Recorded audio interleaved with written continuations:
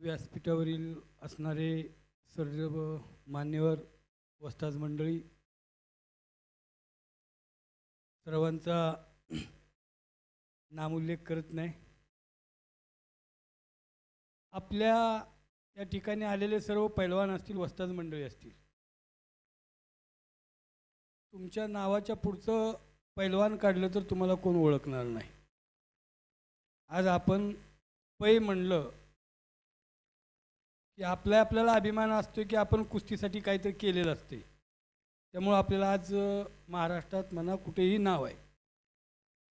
सर्वात मोठं नेटवर्क कुठलं असेल तर पैलवानांचं नेटवर्क सांगावं लागेल. कुठल्याही कुणाचाही प्रॉब्लेम आला तर यवतमाळ असो व दिल्ली असो हरियाणा असो कुठेही आपलं नेटवर्क थोड्या वेळातच लागून जातो. ही हनुमानानं दिलेली आपल्या ज्या या परंपरेत आला आहे त्याला लाल मातीनं कुणाला काही कमी पडून दिलेलं नाही. या गोष्टीमुळं आज आपण एकत्र आलोय.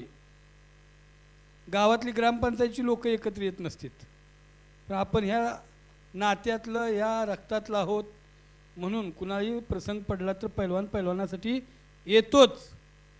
एखाद्याचा चुलत भाव एकासाठी येत नसतो पण पैलवान येत असतो. अनेक जणांनी प्रश्न विचारलं एवढं काय असते पैलवानाचं नातं?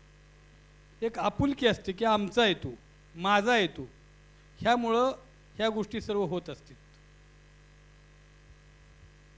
आज या ठिकाणी जरी आपण हा कार्यक्रम अनेक ल लो पैलवान मंडळींना जे पदाधिकारी आहेत त्यांच्यासाठी हा कार्यक्रम आयोजित केला आहे आपण जर नावा रूपाला आलोय पैलवानकी म्हणलं तर आपण पैलवानकीची ओरिजिनल सेवाच केली पाहिजे. मग कुठल्या जाती धर्माचा पैलवान असो कुठल्या तालमीतला असो. सगळ्यांनी एका मागं एकामेकाच्या मागं ठाम राहिलं पाहिजे. परवा असलम काजी बोलले की कुस्तीबद्दल बऱ्याचशा गोष्टी बोलली. चांगले बोलले अभिनंदन आहे त्यांचं. पण पैलवान तयार करत असताना प्रत्येकजण आज आपली काका पवार तालीम मोठी असेल किंवा अनेक तालमी आहेत बऱ्याचशा तालमी मोठी आहेत पण जी श्री गणेशा करणारे छोट्या छोट्या तालमी आहेत त्यांना सुद्धा ते नावा आले पाहिजेत. कोण आईच्या पोटातनं एवढा मोठा पैलवान तयार होत नसतोय.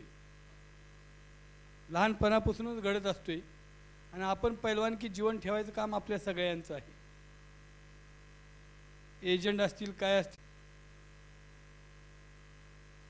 ओरिजिनलला ओरिजिनल म्हणलंच पाहिजे. डुप्लिकेट येऊन ओरिजिनलमध्ये बसून नाही चालणार. ह्याचीसुद्धा काही लोकांना लाज वा ती लाज सोडल्या. की मी ओरिजिनल पैलवानाबरोबर म्हणजे काय नसलं तरी ती म्हणले ते की मी उपमहाराष्ट्र केसरी असेल असे म्हणले असतील किंवा अनेक प्रकार. ओरिजिनल खेळणाऱ्याचं काय? माझ्यासमोर शरद पवार आहे. मला वाटतं आठ दहा वेळा गोल्ड आहे. पण नुकता कान फुगरणारा पण शेजारी बसला तर ते म्हणतो मी पैलवान. तर या गोष्टी आपण सगळ्यांनी एकत्र येऊन केल्या तर ही टिकणार आहे नाही तरी टिकू शकत नाही. आज मैदानाला तुम्ही जावा. बैलगाडी शर्यतीला हजार रुपये फी भरायची आणि बक्षीस असते पन्नास हजार असो किंवा लाख असो. चारशे बैलगाड्या येतात. चारशे बैलगाड्यात सहा जणांना बक्षीस मिळालं जातं. तीनशे चौऱ्याण्णव जण माघारी जातात. समाधान किती जणांना मिळतं? सहा ते सात जणांना. दहा जणांना मिळेल. तीनशे नव्वद लोक नाराज होऊन जातील. पण त्यांना गर्दी का? ह्यासाठी पारदर्शकता सर्वात महत्वाची आहे. थोडाफार खेळला असेल तर ती चुकीच्या गोष्टीला चुकीचं म्हणलं पाहिजे. आणि चुकीच्या गोष्टीला बळ देण्यात उपयोग नाही आहे आज एवढं मोठं मी परवा आमच्या गावाशेजारी एक मैदान झालं कडेपूरला. महेंद्र गायकवाडची आणि हा तो इराणी होता चांगला म्हणजे सगळीच मा देशातली पाडली त्या कुस्तीला पब्लिक अतिशय कमी होती. मला त्या जिल्हा परिषदेचे अध्यक्ष म्हणजे अहो का पब्लिक कमी? म्हणलं पाऊस नव्हतं पाऊस पडल्यामुळं आल्या असं. आपली कुस्ती आपण वाढवायच्या हातात आहे आपल्या. त्यावेळेस एवढी जाहिरातबाजी नव्हती अनेक जण काळ आहे तिथे बसलेले. आहेत यांचा काळ पैलवान बघायला यायचे.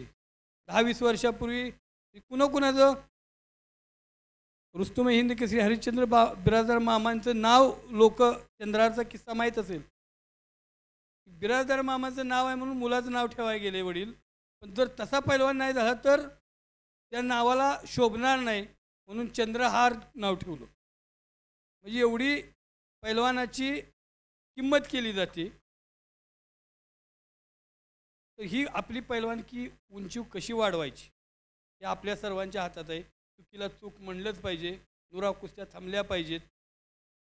सर्व गोष्टी पारदर्शकता आली पाहिजे. एवढं बोलतो आणि हा आपल्या सर्वांची मी रजा घेतो. जय हिंद जय महाराष्ट्र.